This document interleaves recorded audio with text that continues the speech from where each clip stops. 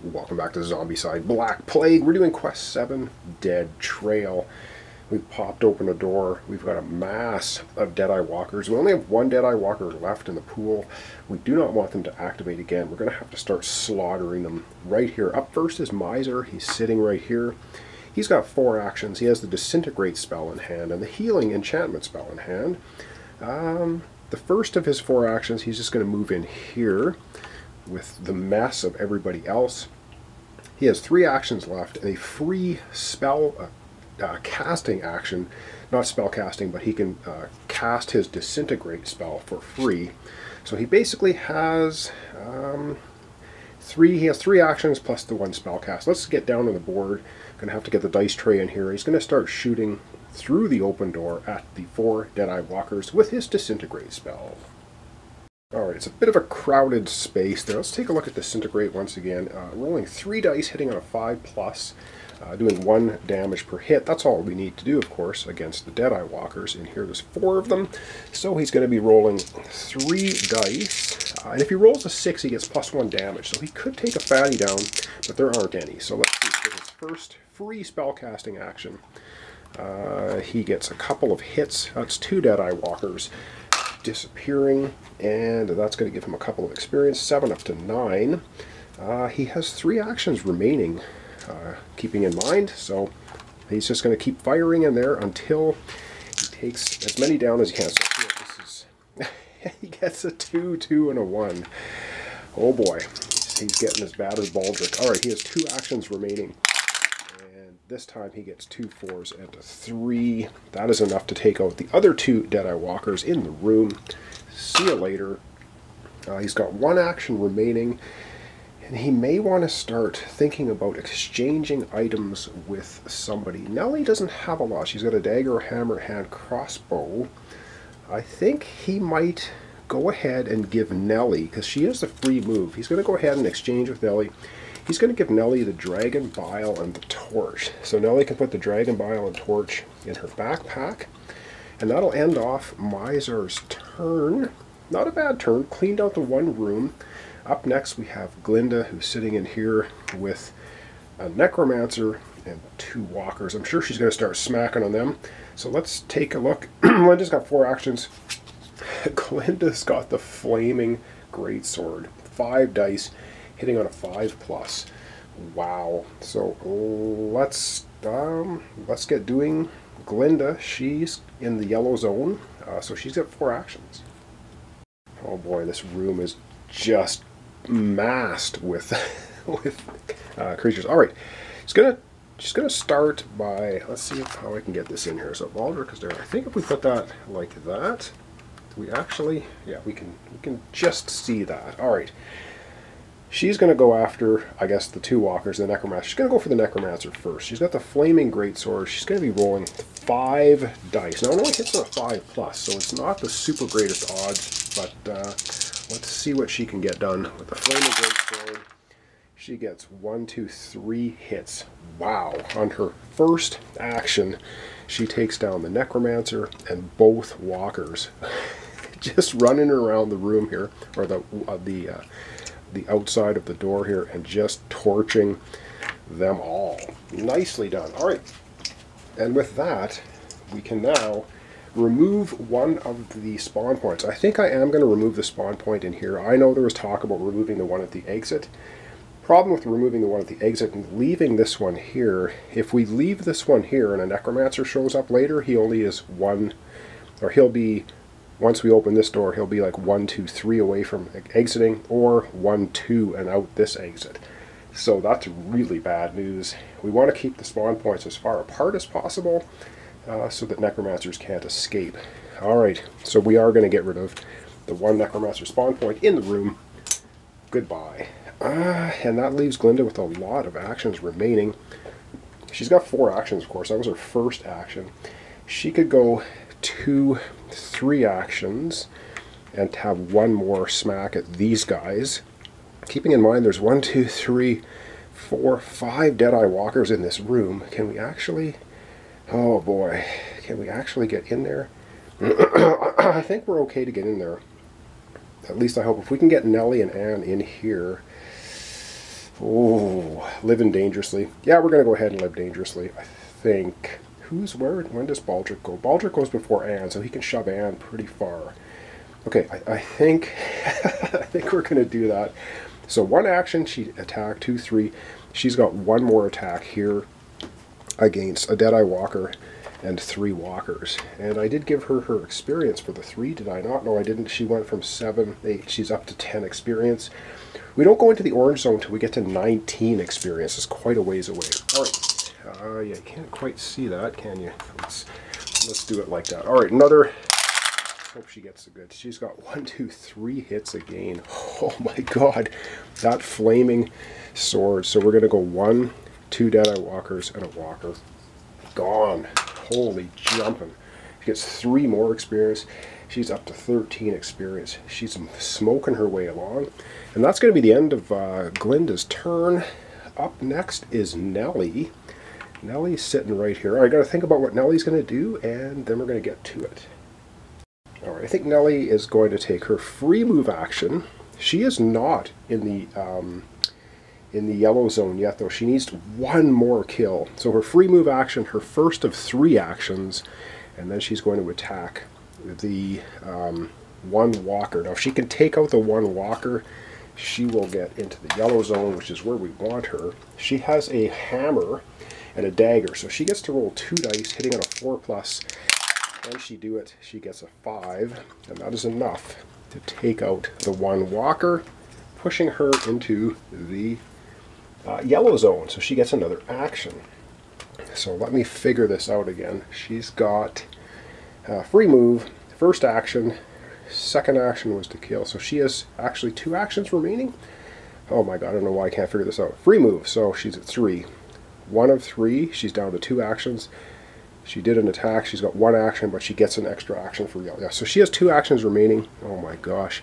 She's going to go one action in this room. She's got one attack left. She's going to take the hammer, rolling two dice, trying to take out some of these Deadeye Walkers. And she rolls a pair of threes. Oh boy, she's in trouble. All right, that's the end of Nellie's turn. She's sitting in here with two, four, six, seven zombies. Ooh, we have basically just Baldric and Anne left. So and Baldric's way the heck over here. I wonder if we should not have moved her in there. Um, I think we probably shouldn't, although Anne will be rolling three dice, hitting on four plus. All right, let me do some thinking. It is Baldric's turn coming right up.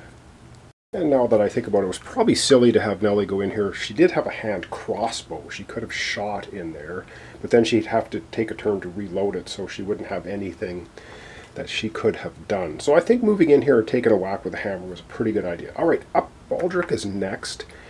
Baldric is going to go ahead and use um, his free spell casting to do the speed spell on Anne. So Anne gets to move too. Anne's going to move in here. Boy, this is living dangerously. And then Baldric's got four actions. One, two, three, and four and that's where we're going to leave them. Oh boy, Baldric didn't do much, did he? He moved Anne, that's about it. Anne is up next. Anne has to be our savior here. Uh, she's got Bloodlust melee and four actions. I, I'm pretty confident she can probably take down all of them, but we are going to find I'm going to readjust the camera a little bit. So Anne's first action is going to be Bloodlust melee. She's going to move in here and go all bloodlusty. Oh my goodness. All right, let's let's zoom down and have Anne hopefully clean out this room. Alright, Anne is not going to let Nellie die. No way, Anne is crazy lady. She's popping right in here. Bloodlust melee. First four actions, she's going to be rolling with her bastard sword. Three dice, hitting on a four plus.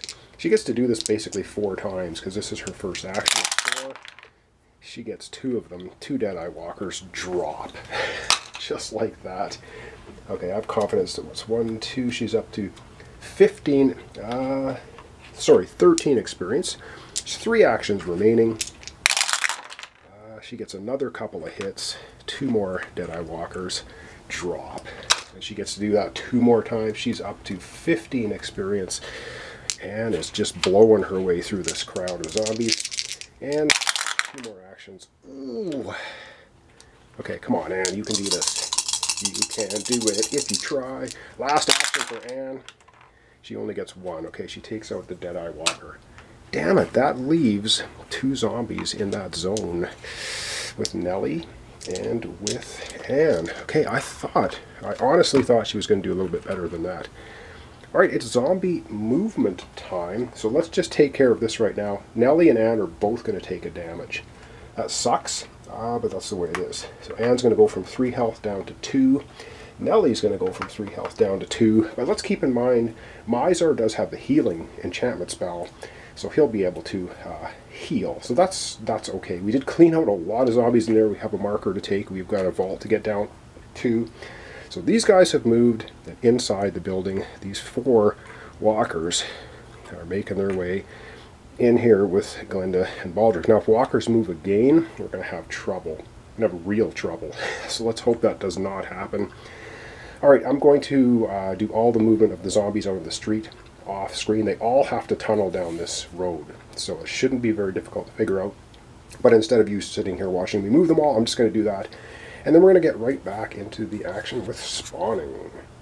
Oh my goodness, and I have Mizar out here at a spawn point, and that's not good. Alright, let's get spawning. So one, two, three, four, five. Oh, let's hope standard walkers don't activate again, because that is going to be nasty. We get uh, we get a fatty. Okay, get a fatty for Mizar. Ooh, that could have been worse. That could have been like four Deadeye Walkers or something. But he does have Disintegrate, so mm, it's okay. All right, uh, first regular spawn point on the, on the left there. We get two runners. Okay, two runners. We still have quite a few runners in the bin, so we're not super uh, worried yet. Okay, two runners, and we have another spawn point there as well. And that's going to be yellow zone, three walkers. Oh dear. Alright, well we took down a lot of walkers this time, but they just keep coming, don't they? Three more walkers. Alright, we have two more spawn points in the yellow. Nobody's in the orange yet. Uh, two runners. Ooh. Okay, what did I say about runners? They're starting to starting to run out of runners a little bit. I think we've got maybe half dozen left, and we have a final spawn point for today. Not all standard walkers activate. No, a fatty. Wow. Okay, I think I think we got pretty darn lucky on our spawn there today. All right. Oh goodness. So, kind of looking at the map. Um, we need to take this objective. We need to take that objective, that objective, get to the exit. Can we do it? We've got to get down into this vault. We have to get down into that vault. Keeping in mind we have two super awesome weapons. Once we get into the orange zone, we have the Chaos Longbow, and we also have the Axe of Carnage. So, uh, plus I don't know what we're going to find down in the vault, so we might find some really cool stuff down there as well. So, that's it. Thanks so much for watching along. Thanks for your comments, subscriptions, likes. This is uh, Zombicide Black Plague. We're doing Quest 7 Dead Trail. Baldric's Bumbling Band. We have three objectives to take, two vaults to get down, and an exit to get to. And I think we're doing okay, although Anne and Nelly took a damage there. But like I said, Miser does have the healing spell, so we can probably get our, our characters healed up. I think, I think we're, I don't know. I want to say we're doing okay, but it's really hard to say. So thanks so much, and we'll see you in the next episode. But, of course, I have one pretty big uh, correction to make, and I'm going to have to try to fix this somehow. So the Disintegrate spell, yes, it was hitting on a 5 plus, not a 4 plus. Uh, there should have been three zombies remaining uh, after Miser blasted in here, and to try and rewind everything just not going to happen. So what I'm going to rule it is uh, we would have been we would have taken three damage. I'm just going to say we would they call them suicide suicide zombies. So I'm going to give Baldric a damage. Uh, she can soak up a damage, so she's not going to get a damage, and Mizar is going to get a damage. That's how I'm going to rule it. So to try to fix that error. So basically Miser is going to go from 3 health down to 2, and Baldric's going to go from 3 down to 2. And those three zombies that didn't quite get taken out by the disintegrate spell, they started to fall apart, and they went on a suicide run. That's how I'm going to rule it so I don't have to try and it's just going to be too hard to try and rewind everything uh, for that uh, correction. So there we go. So we're going to leave it there. Uh, so thanks so much. And uh, yeah, I hope I don't make too many more errors in the next playthrough uh, episode coming up tomorrow. So thanks so much, and we'll see you then.